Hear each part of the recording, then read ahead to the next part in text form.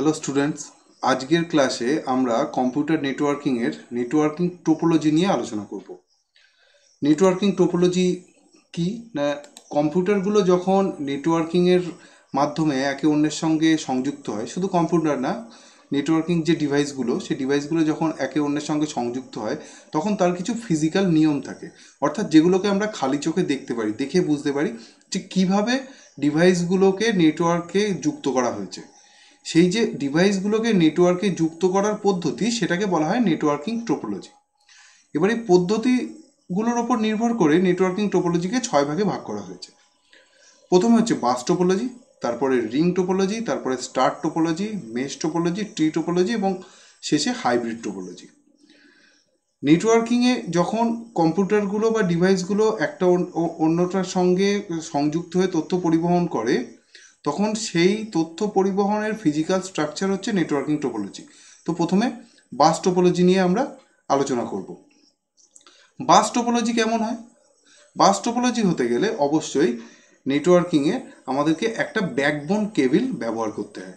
Backbone cable অর্থাৎ মূল যে কেবিল যার উপরে বেস করে নেটওয়ার্কিংটা তৈরি হবে এবং সেখান থেকে কানেক্টারের মাধ্যমে আলাদা আলাদা নেটওয়ার্কিং ডিভাইসগুলো সেটা কম্পিউটার হতে পারে প্রিন্টার হতে পারে স্ক্যানার হতে পারে ক্যামেরা হতে পারে, সেই ডিভাইসগুলোকে সেখান থেকে ব্যাকবোন কেবিলের থেকে আলাদা করে কানেক্টরের মাধ্যমে কানেক্ট করতে হয়। তাহলে এক্ষেত্রে আমাদের প্রথমে কি লাগছে? একটা ব্যাকবোন কেবিল এবং প্রত্যেকটা ডিভাইসকে কানেক্ট করার জন্য আমাদের একটা করে কানেক্টর ব্যবহার করতে হয়। এবং ডিভাইসের দুই পাশে, এই ব্যাকবোন কেবিলের দুই পাশে দুটো টার্মিনেটর ব্যবহার করা হয়। টার্মিনেটর কেন ব্যবহার করা হয় সেটা বলে দিই। তার আগে আমাদের জানতে হবে যে কীভাবে তথ্য পরিবহন করা হয়। ধরা যাক যদি এই কম্পিউটার থেকে বাস টোপোলজিতে এই কম্পিউটারে তথ্য পরিবাহিত করতে হয়, তাহলে বাস টোপোলজি থেকে যে ইনফরমেশনটা বাইরে বেরোবে, সে এই তারের মাধ্যমে এই কম্পিউটারের কাছে যাবে, এর কাছেও যাবে, এর কাছেও যাবে এবং এর কাছেও যাবে। সবার কাছে আলাদা আলাদাভাবে গিয়ে পৌঁছবে। এবারে সবার কাছে আলাদা আলাদাভাবে পৌঁছানোর পরে এখান থেকে যখন আমি এখানে পাঠিয়ে দিচ্ছি, তখন আমার সেন্ডার এবং রিসিভার দুটো কম্পিউটারই অ্যাড্রেস ওই তথ্যটার সঙ্গে সংযুক্ত থাকে। যার জন্য যে কম্পিউটারকে পাঠানো হচ্ছে, কেবলমাত্র সেই কম্পিউটারই তথ্যটাকে গ্রহণ করবে, বাকি কম্পিউটারগুলো কিন্তু তথ্যটাকে গ্রহণ করবে না। এবারে এই যে কম্পিউটারগুলো তথ্যটাকে গ্রহণ করল না, সেই তথ্যগুলো কী হবে? সেই তথ্যগুলো কিন্তু তারের মধ্যে ইতস্তত ঘোরাঘুরি করতে থাকবে। এই যে তথ্যগুলো তারের মধ্যে ইতস্তত ঘোরাঘুরি করতে থাকে, সেইগুলোকে একটা নির্দিষ্ট সময়ের পরে যদি সেগুলোকে নষ্ট করে দেওয়া না যায়, তাহলে আমাদের যে নেটওয়ার্কটা চলছে, এই যে পুরো নেটওয়ার্কটা আমাদের চলছে, এই পুরো নেটওয়ার্কের মধ্যে এক্সট্রা লোড এসে যাবে। কারণ ওই অতিরিক্ত ডেটাগুলো চলছে। এবার এই এক্সট্রা লোড যখনই চলে আসবে, তখনই নেটওয়ার্ক ক্রমশ স্লো হতে থাকবে। যাতে এইটা না হয়। যাতে এক্সট্রা লোড ওপরে জমতে না পারে, তার জন্য এই বাস টোপোলজিতে যে ব্যাকবোন কেবিল তার এ মাথায় এবং এ মাথায়, অর্থাৎ দুটো প্রান্তে টার্মিনেটরকে ইনস্টল করা হয়। টার্মিনেটরের কাজ হচ্ছে যে তথ্যগুলো ইতস্তত ঘোরাঘুরি করছে, সেগুলোকে ধরে ফ্লাশ করে দেওয়া অর্থাৎ নষ্ট করে দেওয়া তাহলে কি হলো? যার কাছ থেকে, যার কাছে যাওয়ার কথা ছিল, ধরা যাক এই কম্পিউটার থেকে এই কম্পিউটারে যাওয়ার কথা ছিল, তো এখান থেকে এর কাছে যেটা গেল, বাকি যে তিনটে এক্সট্রা ডেটা এখানে ঘুরে বেড়াচ্ছিল, সেইগুলোকে কিন্তু টার্মিনেটার একটা সময় পরে ফ্লাশ করে দেবে, তাহলে আমার নেটওয়ার্কটা ঠিক থাকবে, তথ্য পরিবহনের গতিও ঠিক থাকবে। বাস টোপোলজির সুবিধা কী? বাস টোপোলজির কম্পিউটারগুলো আমি এখানে একটা এনআইসি কার্ডের উদাহরণ দিয়েছি। যেখানে R J forty five port রয়েছে, একটা ইথারনেট পোর্ট তো এই ইথারনেট পোর্ট এটা তো টুইস্টেড পেয়ার কেবিলের জন্য। এখানে কিন্তু বিএনসি কেবিল দিয়েও কানেক্ট করা যায়, এখানে ফাইবার অপটিক কেবিল দিয়েও কানেক্ট করা যায়। কোনো অসুবিধা নেই, আমরা যেভাবে খুশি করতে পারি। কিন্তু আমি এখানে একটা উদাহরণ দিয়ে দিচ্ছি এনআইসি কার্ডের শুধু। এবারে বাস টোপোলজির সুবিধা কী? বাস টোপোলজি খুব কম খরচে কিন্তু কনফিগার করা যায়। এবং খুব সোজাসুজিভাবে কনফিগার করা যায়। আমরা চাইলেই খুব সহজেই এতে নতুন একটা ডিভাইসকে কানেক্ট করতে পারি বা একটা ডিভাইসকে রিমুভ করে দিতে পারি। এটা খুব সহজেই হয়। সবকটা ডিভাইসকে সবসময় অন থাকতে হলে নেটওয়ার্ককে চালানোর জন্য। কিন্তু ঠিক তেমনই এর কিছু অসুবিধাও রয়েছে। যদি কোনো মতে এই ব্যাকবোন কেবিলটা কোনোভাবে নষ্ট হয়ে যায় ব্যাকবোন কেবিলটা ধরা যাক ছিঁড়ে গেল বা বা কেটে গেল, তখন কি হবে? পুরো নেটওয়ার্কটা কিন্তু ড্যামেজ হয়ে যাবে। বাস টোপোলজিতে ব্যাকবোন কেবিলের যদি কোনো সমস্যা হয়, তাহলে কিন্তু পুরো নেটওয়ার্কটা নষ্ট হয়ে যাবে। এবং এটা একটা খুব বড় সমস্যা। মেন কেবিলটাকে আমাদের অবশ্যই সিকিওর রাখতে হয়। এটা একটা বাস টোপোলজির খুব বড় প্রবলেম এইবারে তারপরের যে টোপোলজি রয়েছে, যেখানে সাধারণত ফাইবার অপটিক কেবল ব্যবহার করা হয়, সেটা হচ্ছে রিং টোপোলজি রিং টোপোলজিতে বৈশিষ্ট্য হচ্ছে, রিং টোপোলজি একটা নির্দিষ্ট সার্কেলে তথ্য পরিবহন করে। যেমন এই বাঁদিকের এই যে ছবিটা দেখানো হয়েছে, রিং টোপোলজির যদি এই কম্পিউটার থেকে কোনো তথ্য এই কম্পিউটারে পাঠানো, পাঠাতে হয় এবং এটা যদি ক্লক ওয়াইজ ডেটা ট্রান্সমিশন করে থাকে, তাহলে তথ্যটাকে এই কম্পিউটারে যেতে হবে, এই কম্পিউটারে যেতে হবে, এইভাবে এইভাবে, তারপরে এখানে এসে পৌঁছতে হবে। কিন্তু এখান থেকে এখানে আসতে পারবে না। তার কারণ হচ্ছে রিং টোপোলজি একমুখী তথ্য পরিবহন করে। এবার সেক্ষেত্রেও কী হবে? সুবিধে যেটা হচ্ছে, তারের খরচ অনেক কম হয় ঠিকই কিন্তু অসুবিধা হচ্ছে যদি কোনো মতে একটা কম্পিউটার খারাপ হয়ে যায় বা একটা কম্পিউটার বন্ধ থাকে, তাহলে রিং টোপোলজিটা কিন্তু কাজ করবে না। কারণ রিং টোপোলজিতে তথ্য একটা কম্পিউটার থেকে আরেকটা কম্পিউটারে যাবে, সেখান থেকে আরেকটা কম্পিউটারে যাবে, সেখান থেকে আরেকটা কম্পিউটারে যাবে, এইভাবে পরিবাহিত হবে। এবার এতে একটা সুবিধা, আরেকটা সুবিধাও রয়েছে, খুব গুরুত্বপূর্ণ। সেটা হচ্ছে যদি সিগন্যাল কোনোভাবে আর কি ড্যামেজ হওয়া শুরু হয়। তো যখন এই কম্পিউটার থেকে এই কম্পিউটারে তথ্য আসছে, এই কম্পিউটার আবার ওই তথ্যটাকে রিপিটারের কাজ করে আবার নতুন করে রিভাইভ করে দেয়, করে দিয়ে পরেরটায় পাঠায়। ওই জন্য সিগন্যালটা খুব ভালো, এতে পরিবাহিত হয় সিগন্যালে কোনো ড্যামারেজ হয় না। কিন্তু রিং টোপোলজিতে একটা বিশেষ অসুবিধা আছে, সেটা হচ্ছে এর এনআইসি কার্ড আমি নিচে যে ছবিটা দিয়েছি। রিং টোপোলজিতে কিন্তু এই বিশেষ ধরনের এনআইসি কার্ড ব্যবহার করতে হয়, যেখানে দুটো করে পোর্ট থাকে। এখানে আমি টুইস্টেড পেয়ার কেবিলের এনআইসি কার্ডের উদাহরণ দিয়ে দেখিয়ে দিয়েছি। এখানে দুটো করে পোর্ট কেন থাকে? এখান থেকে যে তারটা বেরোচ্ছে, সেটা সেন্ডার হিসেবে কাজ করে, এখানে যে কানেকশানটা কম্পিউটার ঢুকছে, সেটা রিসিভার রিসিভার হিসেবে কাজ করে। আবার এই কম্পিউটার থেকে যে সিগন্যালটা বেরোচ্ছে, সেখানে আবার সেন্ডার হিসেবে কাজ করে, অর্থাৎ এতে একটা বিশেষ ধরনের এনআইসি কার্ড ব্যবহার করতে হয়। যে এনআইসি কার্ডে একটা পোর্ট থাকে ডেটা রিসিভ করার জন্য, একটা পোর্ট থাকে ডেটা সেন্ড করার জন্য। সুতরাং, তাহলে আমরা বুঝতেই পারছি আমাদের সাধারণ কম্পিউটারে যে এনআইসি কার্ড থাকে, সেই এনআইসি কার্ড দিয়ে কিন্তু রিং টোপোলজি তৈরি করা যায় না। যার জন্য রিং টোপোলজি বেস্ট কস্টলি এবার কি, যদি কোনো একটা কম্পিউটারে কোনো প্রবলেম হয়, তাহলে কিন্তু আমার পুরো নেটওয়ার্কটা যেমন বন্ধ হচ্ছে, তেমনি এটাকে ট্রাভেল শ্যুট করা খুব কঠিন। আমি তো আমাকে প্রত্যেকটা কম্পিউটার ইন্ডিভিজুয়ালি চেক করে দেখতে হবে যে কোন কম্পিউটারের জন্য নেটওয়ার্কটা ইন্টারাপ্ট হচ্ছে, তারপরে সেটাকে রিপেয়ার করতে হবে। যদি একটা নতুন কম্পিউটার এখানে অ্যাড করতে হয় বা নতুন একটা ডিভাইস অ্যাড করতে হয় বা নতুন বা একটা ডিভাইস এখান থেকে বার করে নিতে হয়, আমি এই কম্পিউটারটা মনে করি এখান থেকে বার করে নেব বা একটা নতুন কম্পিউটারের মাঝখানে নিয়ে আসব, সেক্ষেত্রে কিন্তু পুরো নেটওয়ার্ককে বন্ধ করতে হবে, বন্ধ করে তারপরে সেখানে একটা নতুন ডিভাইস অ্যাড করতে হবে বা একটা ডিভাইস রিমুভ করতে হবে। এবারে যেটা বলছিলাম একটু আগে যে যদি কোনোভাবে এই মূল তারটা ক্ষতিগ্রস্ত হয়, তাহলে আমার নেটওয়ার্কটা ইন্টারাক্ট হয়ে যাচ্ছে। এর জন্য আবার আরেকটা পদ্ধতি আবিষ্কার করা হলো, সেটা হচ্ছে ডুয়েলডিং টেকনোলজি এখানে দুটো কানেকশান থাকে, একটা ক্লক ওয়াইজ ডেটা পরিবাহিত করে, একটা অ্যান্টি ক্লক ওয়াইজ ডেটাকে পরিবহন করে। তাহলে কী হয়, যদি কোনো মতে এই কেবিল কেবিলের যদি কোনো সমস্যা হয়, কেবিলের সমস্যা, কোনো পিসির যদি সমস্যা হয়, তাহলে কিন্তু নেটওয়ার্ক ইন্টারাপ্ট হয়ে যাবে। কিন্তু যদি কেবিলের কোনো রকম সমস্যা হয়, তাহলে নেক্সট যে আমার লুপটা রয়েছে, সেইটা দিয়ে কিন্তু তথ্য পরিবাহিত হবে। এইটা একটা বড় প্লাস পয়েন্ট রয়েছে ডুয়েল রিং কিন্তু সেক্ষেত্রে খরচাও অনেক বেশি হয়। একটাই নেটওয়ার্ককে আবার নতুন করে সাজাতে হয় এবং এর এনআইসি কার্ডের যে প্রবলেমটা রয়েছে, তার জন্য আমার দুটো করে এনআইসি কার্ড লাগছে, বিশেষ ধরনের। সুতরাং এটা খুবই খরচ সাপেক্ষ রিং টোপোলজি এই বিভিন্ন ধরনের অসুবিধার জন্য কিন্তু রিং টোপোলজি খুব একটা ব্যবহার করা হয় না। তারপরে আসছে আজকালকার দিনে সব থেকে বেশি ব্যবহৃত টোপোলজি স্টার টোপোলজি এক্ষেত্রে একটা সেন্ট্রালাইজড ডিভাইস থাকে সুইচ বা হাব একটা সেন্ট্রালাইজ ডিভাইস থাকে।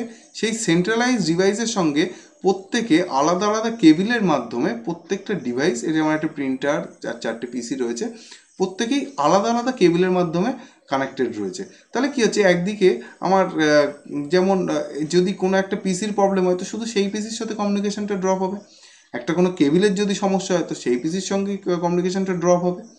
এইটা হচ্ছে আমার মূল সমস্যা। নয়তো, এবং যদি আমি নতুন একটা কোনো পিসিকে কানেক্ট করতে চাই জাস্ট একটা কেবিল দিয়ে একটা পিসি কানেক্ট করে দিলেই হবে। আমি যদি নেটওয়ার্কের পাওয়ার বাড়াতে চাই, আমি যদি নেটওয়ার্কের নোডের পাওয়ার নোডের সংখ্যা বাড়াতে চাই, সেক্ষেত্রে আমার যে সেন্ট্রালাইজ ডিভাইস রয়েছে সুইচ বা হাব তার যে পোর্টের সংখ্যা, সেই পোর্টের সংখ্যাটা বাড়িয়ে দিলেই আমার হয়ে যাবে। একটা সিঙ্গেল শুধু চেঞ্জ করে দিয়ে কানেক্ট করে দিলেই হয়ে যাবে। খুব সহজে হবে। কিন্তু প্রবলেম একটা আছে খুব মারাত্মক। যদি কোনো সময় এই যে সেন্ট্রালাইজ ডিভাইস যার ওপরে বেস করে সমস্ত নেটওয়ার্কটা চলছে, সেই ডিভাইসটা যদি কোনো মতে খারাপ হয়ে যায়, তাহলে কিন্তু পুরো নেটওয়ার্কটাই বন্ধ হয়ে যাবে। স্টার টোপোলজির এই একটাই অসুবিধা রয়েছে। স্টার টোপোলজি সাধারণভাবে খুব সুন্দরভাবে কাজ করে, যেহেতু এটা সুইচ বা হাব দিয়ে ম্যানেজ করা হয়। কিন্তু যদি কোনো মতে সেই সুইচ বা হাফটার প্রবলেম হয়, তাহলে পুরো নেটওয়ার্কটা বসে যাবে। এরপরে আমরা দেখব মেশ টোপোলজি মেশ টোপোলজিতে কতগুলো চ্যানেল লাগে? অর্থাৎ তারের সংখ্যা কত লাগে? তার একটা সূত্র আছে। যদি এন সংখ্যক আমার কম্পিউটার বা ডিভাইস থাকে, তাহলে কতগুলো চ্যানেল লাগবে বা কতগুলো কানেকশন করতে হবে? N into N minus one by two যে রেজাল্টটা বেরোবে।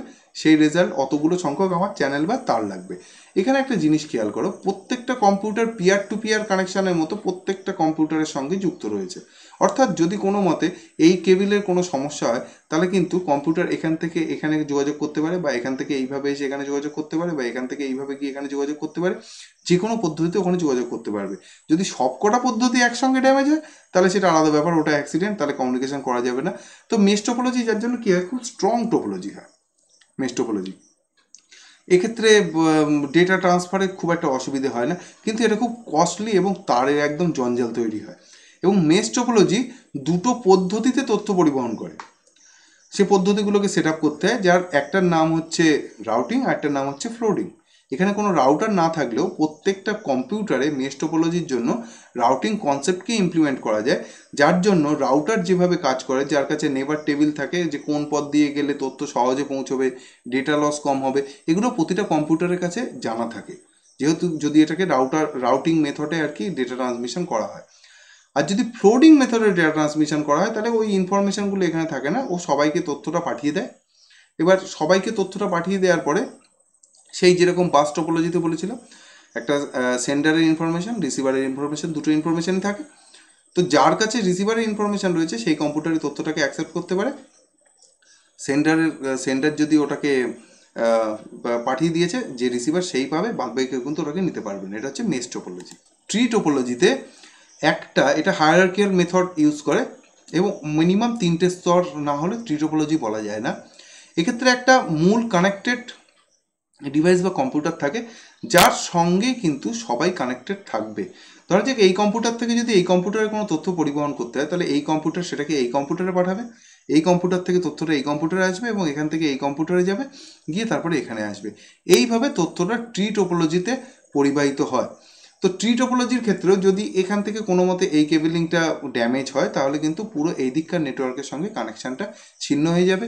এক্ষেত্রে প্রচুর তার ব্যবহার করা হয় ট্রাভেল শ্যুট করাও বেশ কঠিন এবং এটা খুব সহজে কনফিগার করা যায় না, খুব costly network topology so tree টোপোলজিও কিন্তু খুব বেশি যে ব্যবহার হয়, তা নয়। তারপরে ফাইনাল যেটা আমরা পাচ্ছি, সেটা হচ্ছে হাইব্রিড টোপোলজি হাইব্রিড টোপোলজিতে কী হয়? না, এক্ষেত্রে যখন দুই বা ততোধিক টোপোলজি একসাথে মিশে একটা টোপোলজি তৈরি করে তখন তাকে বলা হয় হাইব্রিড টোপোলজি ধরা যাক আমার একটা অফিস রয়েছে, যে অফিসে আমার একটা সেকশনের জন্য রয়েছে রিং টোপোলজি একটা সেকশনের জন্য রয়েছে বাস টোপোলজি আর একটা সেকশনের জন্য রয়েছে স্টার টোপোলজি যেটা এখানে দেখানো হয়েছে। এখন রিং টোপোলজির একটা কম্পিউটারের সঙ্গে যদি আমি স্টার টোপোলজি সুইচ বা হাবকে কানেক্ট করে দিই এবং সুইচ বা হাব থেকে একটা কানেকশন নিয়েছে যদি বাস টোপোলজির সঙ্গে আমি কানেক্ট করে দিই, তাহলে এখানে তিনটে আলাদা আলাদা টোপোলজি একসাথে মিশেছে। যখন একাধিক টোপোলজি একসাথে মিশে একটা টোপোলজি তৈরি করে, তখন তাকে বলা হয় হাইব্রিড টোপোলজি খুবই জটিল কস্টলি এখানে যদি কোনো রকম সমস্যা হয় কম্পিউটারে তাহলে যেমন আমরা আগেরগুলো পড়ে আসলাম, ঠিক সেই হিসেবেই কিন্তু প্রবলেমকে আমাদের ডায়াগনোস করতে হয়। রিং টোপোলজির ক্ষেত্রে যদি এখানে কোনো প্রবলেম হয়, তো পুরো নেটওয়ার্কটা ড্যামেজ হয়ে যাবে। তো তখন আমাদের এর সঙ্গে এই পুরো নেটওয়ার্কের কোনো যোগাযোগ থাকবে না। বাস টোপোলজির যদি ব্যাকবোনটা এখান থেকে কেটে যায়, তাহলে সেখানেও তাই। আমরা এখানে কিন্তু ওটাকে পাবো না। তো এই প্রবলেমগুলো কিন্তু হাইব্রিড টোপোলজিতে থাকে। তো হাইব্রিড টোপোলজি ট্রাভেল শ্যুট করাও প্রবলেম কিন্তু কি হয়? বড় বড় অফিসের ক্ষেত্রে যেখানে এরকম আলাদা আলাদা টোপোলজি থাকে, সেগুলোকে একসাথে যখন আমরা কানেক্ট করে দিতে পারি, তখন আমাদের কাজের সুবিধা, যার জন্য কিন্তু হাইব্রিড টোপোলজি ব্যবহার হয়। তো তাহলে আজকে আমরা ক্লাসে নেটওয়ার্ক টোপোলজি নিয়ে আলোচনা করলাম, যেখানে সবকটা টোপোলজি নিয়ে অল্প বিস্তার তাদের সুবিধা, অসুবিধা এবং তাদের স্ট্রাকচারটা কেমন হয় সেটাকে বলে দিলাম।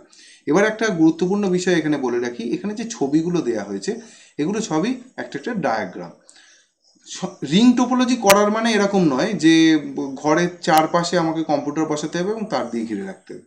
বা স্টার টোপোলজি করার মানে এই নয় যে ঘরের ঠিক মেঝের মাঝখানে একটা সুইচ বা হাব রাখতে হবে এবং চারপাশে কম্পিউটার রাখতে হবে, এরকম নয়। আমরা এগুলোকে কনফিগার করতে পারি অন্যভাবেও। কেমন? না, আমরা রিং টোপোলজি যেটা করছি, একটা দেয়ালে আমরা কনফিগার করলাম ফার্স্ট রিং টোপোলজির বৈশিষ্ট্য একটা কং একটা লুপটা থাকবে, কোনো জায়গায় ছাড়া থাকবে না। চারিদিক সবসময় জোড়া থাকবে। তাহলে কি হচ্ছে? শেষ যে কম্পিউটারটা, সেই কম্পিউটার থেকে একটা তার যদি আমরা প্রথম কম্পিউটারে আবার নিয়ে চলে আসি, তাহলে আমার রিং টোপোলজিটা কমপ্লিট হয়ে গেল। আমি একটা সাইডে চারটে কম্পিউটারকে বসালাম, প্রথম কম্পিউটারের সঙ্গে দ্বিতীয়, তার সঙ্গে তৃতীয়, এবার তৃতীয়র সঙ্গে চতুর্থ, চতুর্থর সঙ্গে একটা তার কানেক্ট করে আমি আবার প্রথম কম্পিউটারের সাথে কানেক্ট করে দিলাম। তো এই ক্ষেত্রে আমাকে সেটা গোল করে বসানোর দরকার নেই, ঠিক আছে? তো এগুলো মনে রাখবে যে এটা একটা ডায়াগ্রাম এটা কিন্তু কোনো সময় আমাদের ওই আকারে বসানোর দরকার নেই, আমরা আমাদের মতো ইচ্ছে মতো বসিয়ে নিতে পারি, শুধু কেবিলিনটা আমাদের হিসেবে রাখতে হয়। আজকে টিউটোরিয়াল এই পর্যন্তই, কেমন লাগল টিউটোরিয়ালে কমেন্টে জানিও, যদি কোনো সমস্যা থাকে তাও কমেন্টে জানিও। সেগুলোকে দরকার হলে নতুন ভিডিও দিয়ে আবার সলভ করে দেওয়া হবে। আজকে টিউটোরিয়াল এই পর্যন্তই।